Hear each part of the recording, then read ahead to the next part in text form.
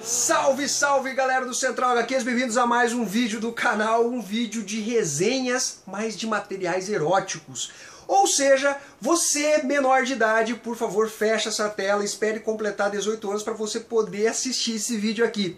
Não é um vídeo que vai tratar de assuntos pornográficos, coisas explícitas, nem nada do tipo, mas é um quadrinho erótico, um quadrinho que tem cenas um pouco mais fortes, de natureza sensual, então seria interessante você esperar chegar à idade adequada para você poder assistir esse vídeo. E na verdade, esse mangá, esses dois mangás que eu vou tratar com vocês são lançamentos da editora JBC. O primeiro deles é Love in the Hell. Esse material muito divertido, talvez tenha sido o quadril mais divertido que eu li em 2015. É, ele mistura sensualidade com humor e muita violência. Porque você imagina, Love in the Hell, o amor no inferno. É, o Quintaro, ele tem 27 anos e ele sofre uma morte estúpida. Ele tá bêbado, bebeu todas, e ele cai e bate a cabeça e morre. E ele vai parar no inferno. Quando ele acorda, ele acha que está no céu, porque ele acha que sempre foi um cidadão exemplar, um cara de uh, bem-quisto pelas pessoas, que sempre agiu corretamente. Mas ele leva uma surpresa quando ele aparece no inferno. Ele chega lá e fala, mas o que, que eu estou fazendo aqui? Eis que surge uma demônia chamada Koyori. Ela é uma Oni. Oni significa demônio. Ela é uma aprendiz de torturadora. Então ela vai uh, acolher e vai usar o Quintaro para ela aprender as, as, a arte da tortura. E o Quintaro ele fica totalmente assustado, ele não sabe o que está acontecendo, porque essa garotinha ela tem 17 anos, ele a, a, trata como se fosse uma criança, e ela é uma aprendiz ainda, ela não tem uh, uma experiência como uma torturadora. Então ele começa até zoar um pouco ela e ela ainda não sabe direito o que fazer diante de uma situação dela, dela ser desafiada. Mas é um quadrinho muito. É comédia demais, cara. Claro que o humor varia muito de leitor para leitor, do que você considera como humor. Tem gente que gosta, por exemplo, de Zorra Total, é, né? É uma bosta. Particularmente para mim. Eu gosto de Porta dos Fundos, adoro Chaves, adoro Chaves.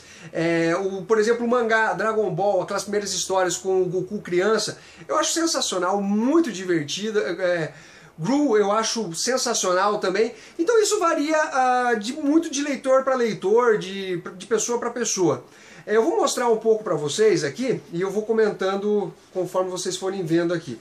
Olha, tanto é aqui que ela, ó, sendo desafiada por ele, ele batendo aqui na, quase acertando ela, tentando. Aí o que acontece? É uma, esse universo aqui é uma putaria, o inferno. O inferno é uma putaria. Você não acha que é só sofrimento, tem também muita luxúria, né? Então, uh, teve o, personagem aqui que é de uma outra Omni que pegou nos peitos dela, olha só. Presta atenção, é essa gostosa aqui, turbinada. E ela fala que ele pegou no peito dela, o nome dela é Momone. E olha o que, que ela fez com o cara que é o servo dela, né? Com que ela vai. É, o escravo dela. Olha só o que, ela fez com ele. Acontece que nesse mundo, nesse inferno aqui, é, se você morre eventualmente por conta da tortura, no outro dia você vai acordar inteiro.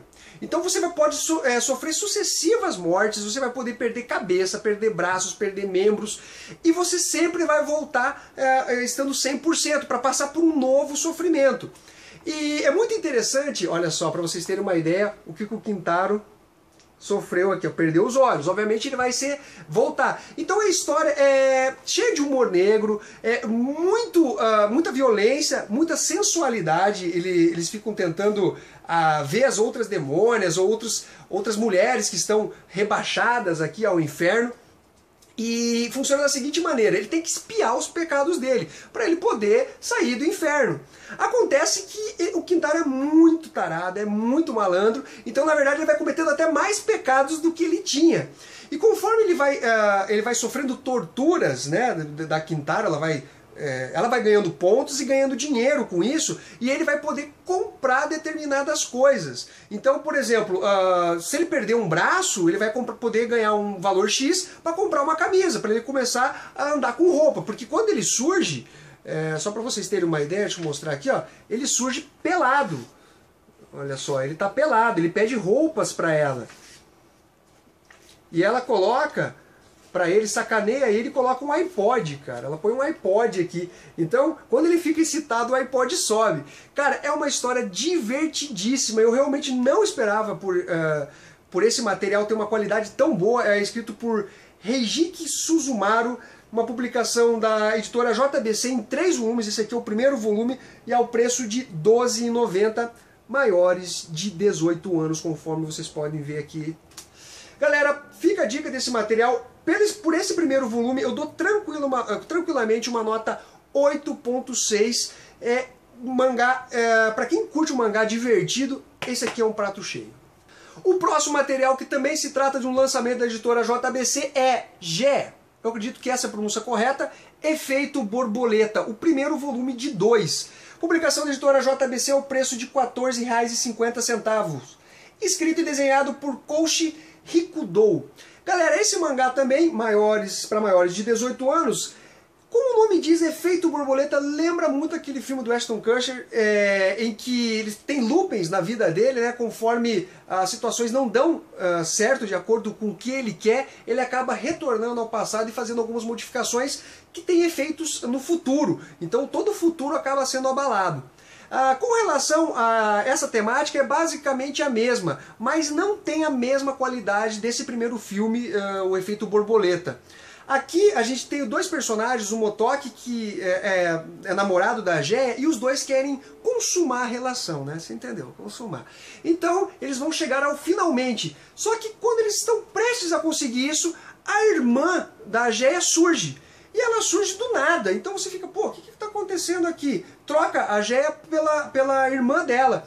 E eles são pegos assim em uma situação uh, totalmente desconfortável. E a Géia diz, o que você está fazendo aí? Então a história começa cheio de loopings, uh, situações desesperadoras para os personagens, e o Motoki ele descobre que toda vez que ele vai consumar esse ato com a sua namorada, antes de consumar, é, a, acontece um looping na história, ou a Geia morre, ou tem uma situação totalmente inesperada.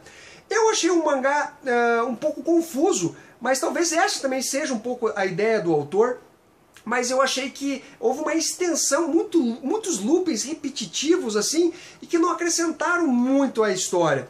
Então eu achei que acabou se estendendo demais.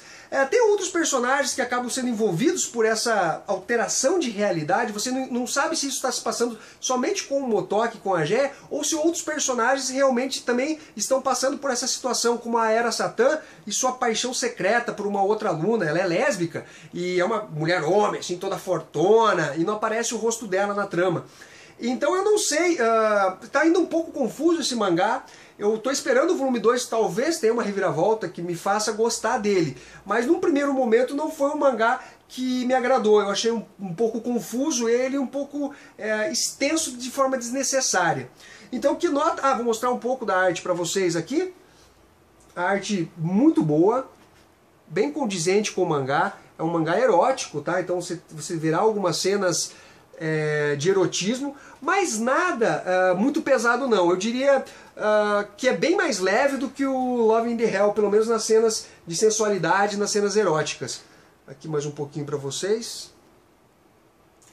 Que nota que eu dou para esse material aqui? Eu, por enquanto, dou uma nota 7 para esse material. Espero que o próximo volume seja um material bacana. Galera, é isso aí. Espero que vocês tenham curtido o vídeo. Curtam, compartilhem e até a próxima.